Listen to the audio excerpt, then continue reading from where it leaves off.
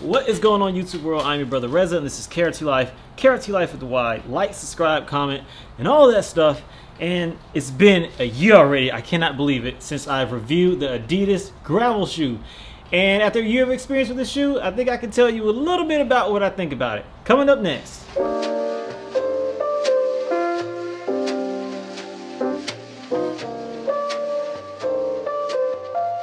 Today's vlog, I'm going to be talking to y'all about this gravel shoe from Adidas. Man, I cannot believe it's already been a year since I've been riding this shoe. Did an initial review about this thing Initially, I really liked it. I also really liked the Velosamba a lot. I liked it when I tried it on, but the love affair went away really quick, and I just recently actually sold them on eBay. So I'm gonna tell you all about my year of riding this shoe and what I thought about it. Now, what kind of use case did I use this shoe in? I rode a mixture of asphalt and gravel and mud and construction areas and stuff like that with this boot over the year that I have owned it and I was doing on average about 90-ish to 100 something miles a week during the summer months. So for the last like four or five months here, I was putting some serious miles on this shoe. And um, a lot of stuff happened along the way, and I guess I will, I guess, talk to y'all about that and let y'all know how I feel about this shoe. So we're gonna start at the bottom of the shoe and work our way up. And yeah, I think that's a good way for me to do this review because there's so much to go over. So the bottom of this shoe.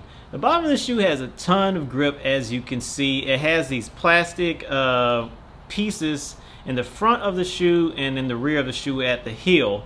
The way that the bottom of this shoe is made is kind of like rounded. So to, I guess to make it easier for you to walk in it, even though the sole is very, very stiff and not flexible at all. Now that stiffness translates to pretty good power delivery when you're cranking down on the crank.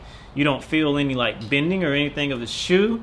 But the uh, drawback to that stiffness is that I get, well, a couple things. Number one, this part right here can get really, really slippery. And I learned the hard way that if you're not clipped in properly and it slips, you're gonna hit your leg really hard on your crank, uh, pedal, or your pedals rather, if you uh, slip and you're not clipped in completely on this bottom part right here on the bottom part of the shoe. Um, these little pads, they do give it enough grip to do some walking. I mean, I, the furthest I ever had to walk in these was approximately three miles, which was a really long walk because I had a bike malfunction. I didn't have the tools to fix it, and I had to get back. And it was, yeah, it, it was, it was, it was not the worst thing to walk in, but I mean, it's not like walking in sneakers, obviously. And on the topic of walking, the Velosamba that I got rid of wasn't really that good to walk in either, but that's another story. So moving up from the sole, oh, and these little pegs. As you can see, some of these little uh, pegs have broken off and worn off from you know my time using these because I use these very hard, walking on all kind of surfaces. And yes, some of them broke, but for the most part, it's still intact. This part right here, massive issue though. Um, so moving up from the sole and talking about the upper of this shoe, this upper is a synthetic upper from what I understand. And for the most part, it has done a very good job um, of keeping debris and water and stuff like that out of the boot. Now, as you can see when you look around the boot, it has also done a good job of not really showing too much wear. It's uh, if I were to wash this boot off, it would look relatively brand new to be honest with you. There are very few defects or anything really wrong with this boot from uh, me using it. Now on one of them, I'm not sure which one it is, I think it's, yeah, it's that one right there that's on the pedestal this little uh, bump strip right here, this little suede strip, is kind of starting to separate on the toe.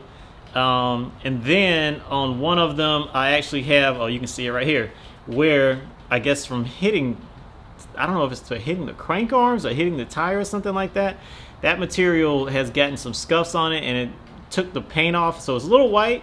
But other than that, from like abrasion issues, abrasion issues, but from abrasion, from like just regular use, the upper of the shoe is pretty much in pretty good condition. Now, because this upper is pretty darn water resistant, it's not the most breathable upper in the world. If you're riding around your gravel trail and water happens to get up and over this lower part of the upper into this uh, uh, stretchy sock material right here, your feet are going to be wet and they are going to stay wet. There's no way for this shoe to drain properly. You can like do everything you want I mean, a very small amount may drain out through the bottom, but every time that I've been in a rainstorm or went through like really, really deep mud or ruts or anything like that, all the water that came up over this part right here got into the actual shoe and stayed into the and stayed in the shoe until the end of my ride which was extremely annoying on a lot of use cases.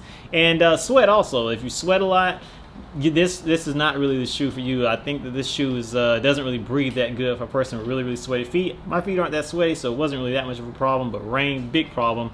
And uh, while I'm talking about this little sock area up here, this actually works really good at keeping like debris and rocks and gravel and stuff like that out of the boot when you're riding but um, I never had anything go over the top of this outside of water and that's because this is not water resistant at all. Water goes through the, straight through this and right into the boot. But gravel sand dust and stuff like that does not necessarily go through this. And this part up here has held up considerably well considering its age and the amount of usage that I got out of it. I don't have any loose threads on either of the boots. You can see across the top and um, yeah, everything is mechanically pretty sound up here. Oh, I forgot about the lacing system. Let me talk about the lacing system real quick. So this lacing system real quick, when you lace the front of the uh, shoe, you can, uh, when, when, lace the front shoe, when you lace the shoe up, it has this little uh, elastic strap right here to keep your shoelaces in place when you're riding and keep them out of your crank. And for the most part, it has worked fine. Like I haven't had any issues with the laces ever coming out or like getting caught in the chain or anything like that. So that has worked pretty darn good. And uh, yeah, now that we've gone from the bottom to the top of the shoe, let's talk about comfort real quick. So these are the most comfortable cycling shoes I've ever owned, and I haven't owned very many, so I'm not even gonna lie to you. Um, up until the point where I tried this new Specialized shoe on the other day in the bike shop, and I can't remember the name of it, but I'll overlay it somewhere across my face right now.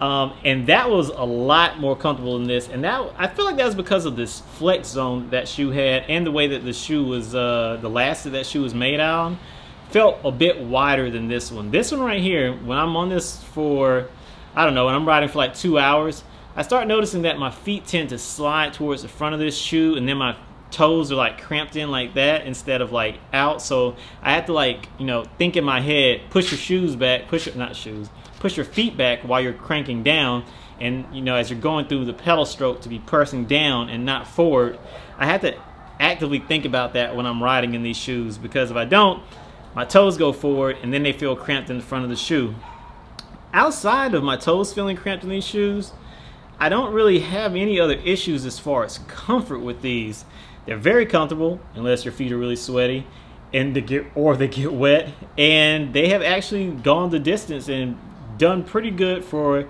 what I have needed out of them. So these shoes are still available on the Adidas website and they have like a whole bunch of colors and stuff now. So I would recommend these shoes if they're on sale and if you really, really like the design because I feel like the look of this shoe is the best thing about this shoe uh, by far. I mean, the functionality is good. I would give it a, probably like a B minus or a C plus as far as functionality.